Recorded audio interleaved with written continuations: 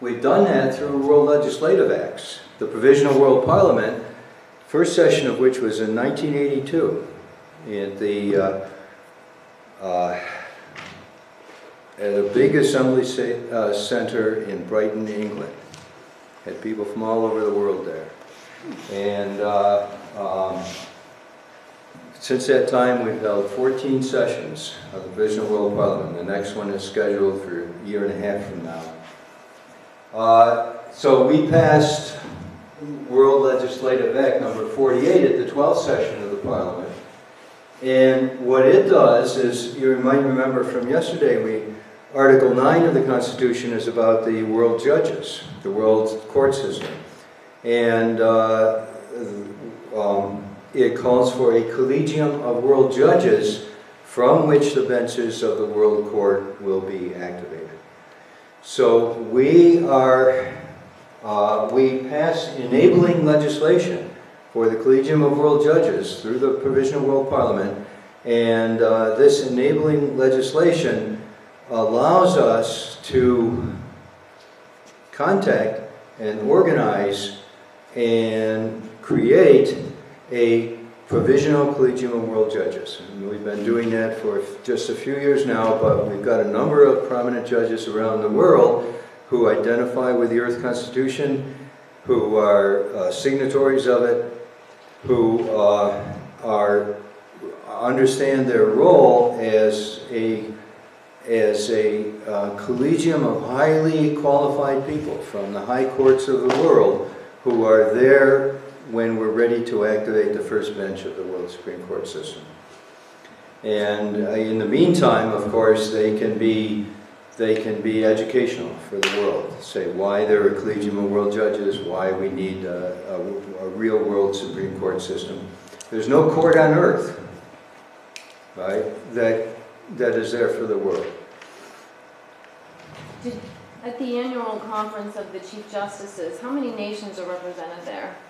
Uh, in recent ones, the, there's been 17 of them so far, and they started out with maybe 40 or 50 nations. Now they've got like 160 nations. Wow. That, I wanted, I wanted. Yeah, so they have like You 210 yeah. judges come from 160 nations. And it's really impressive. And you typically combine efforts when you do your Yeah. parliament with them. Tell, tell, Well, uh, what we do is we've had representation. I haven't been there every time. Eugenia's been there several times. I've been there a number of times. Uh, but we have WCPA members there every time, and we're talking with the judges every opportunity we get.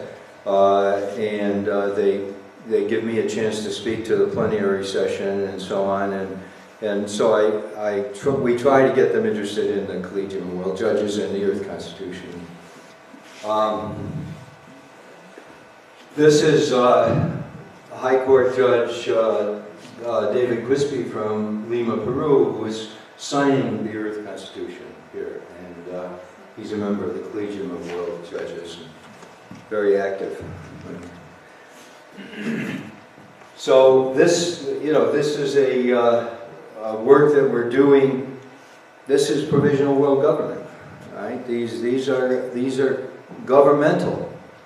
We've got a collegium of world judges waiting. And now, why is there no court? I think there's some, one thing that uh, it's important to interject here. Why is there no world court? Isn't there an International Court of Justice in The Hague? Isn't there an International Criminal Court now since 2002? There are, there is, right? Those entities are predicated on the system of sovereign nation states. The, you know, uh, after the Nuremberg trials, that was a, a watershed, right? As uh, David mentioned this, uh, um, uh, the chief prosecutor in the Nuremberg trials was a U.S. justice. And, you know, he, he famously said there is no, we have to have a world of law that replaces the world of force.